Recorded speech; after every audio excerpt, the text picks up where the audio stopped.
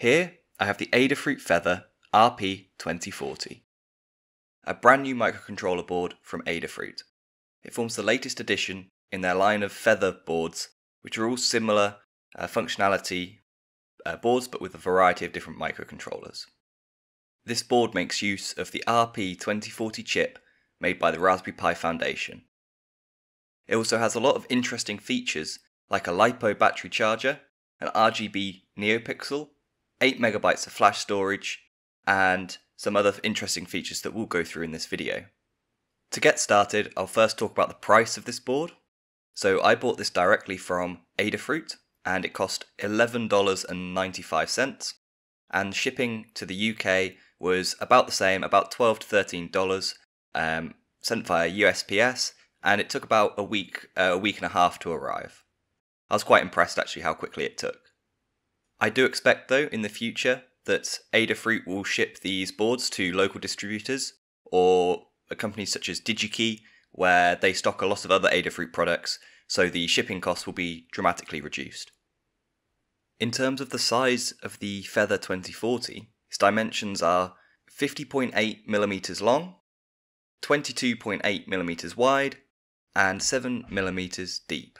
It's quite tall due to the Molex connectors that are on board that I'll talk about later.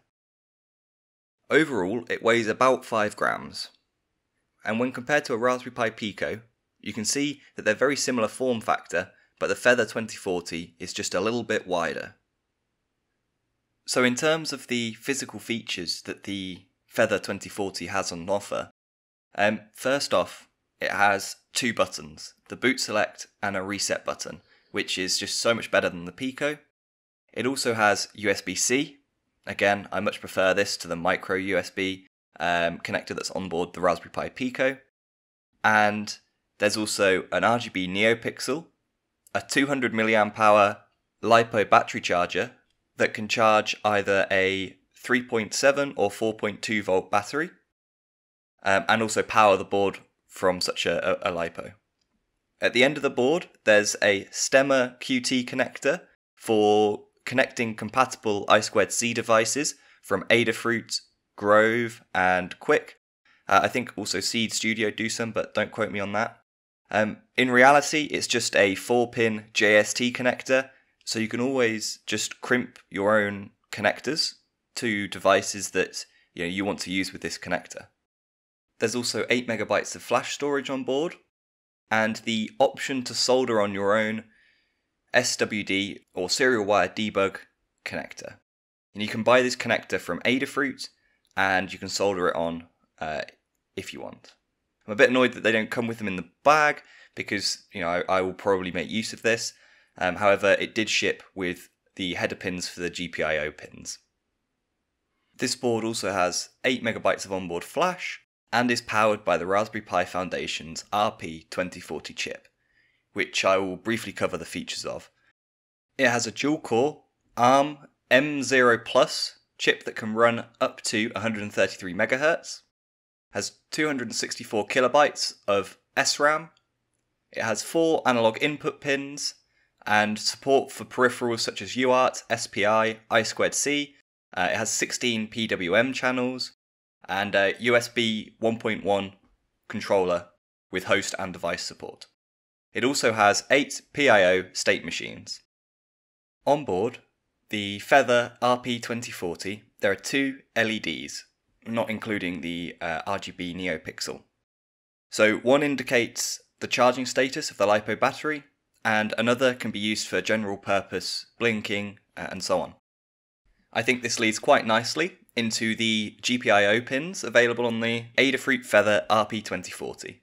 So there are 21 GPIO pins, four of which are ADC compatible, and that's actually one more than the Pico. Two I2C, two SPI, and two UART peripherals can be connected to the GPIO. And there are eight GPIO general purpose pins that are digital only, and they are also the PIO state machine uh, compatible. These GPIO pins obviously don't include the extra I2C connector that you can uh, plug into the, the Stemma QT connector. The GPIO pins, all of them run at 3.3 volts, and none of the GPIO pins have the castellated edges that can be found on the Pico or other boards such as the uh, the Pimoroni uh, Tiny 2040. There's a link in the cards if you want to see an overview of that microcontroller. And I personally don't have much use for the castellated edges, so I'm not going to miss them on this board. So, in terms of powering the board, you have two main options to power the Adafruit Feather RP2040. You can power it via USB or via the LiPo battery. Now, there is no uh, support, really. I mean, there are workarounds for this, but there's no support inherently for external power supplies, so there's no V-in pin uh, or similar. And uh, according to Adafruit, this was to keep costs down, but it's, it would have been nice to see. So your first option is to simply plug in the USB-C connector to a, a capable power supply or computer. And this will power everything normally. And then you also have the option to plug in a, a LiPo battery, which uses a 2-pin JST connector with a 2mm pitch between the pins. Um, the polarity is indicated on the board itself, and Adafruit do warn to be very careful of to get this polarity right, otherwise the well you'll break the board. You plug both the USB-C and the LiPo battery into the Feather RP2040. The LiPo battery will actually start charging at up to 200 milliamp hours uh, from the USB power supply. When you pull out the USB-C, the LiPo battery will actually take over, so to speak, and apparently, according to Adafruit, this is a hot swappable process. In terms of external power, so the you can use the onboard regulators to power external devices such as you know I2C or SPI devices and so on. So on the board there is a BAT pin which is connected to the uh, directly to the LiPo battery and so be the same voltage as whichever battery you put in. You've got the USB pin which will take the plus 5 volts USB input and provide it directly to that pin. You also have a 3.3 volts pin that is directly from the onboard regulator onboard the Feather RP2040. One thing I do want to highlight is how nicely the board is labelled. Each pin is very clear what it can do, and it's also highlighted on the back of the board as well. So you get both the back and the front.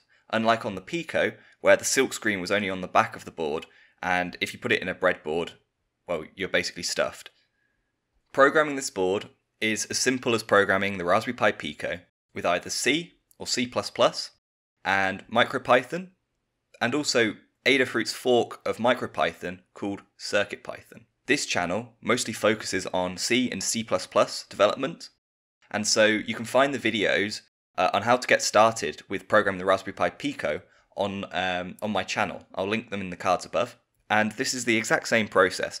You hold down the boot select button as you plug in the USB-C connector, and then you drag and drop your built UF2 file over to the storage device, it will close, reboot, and start running your code.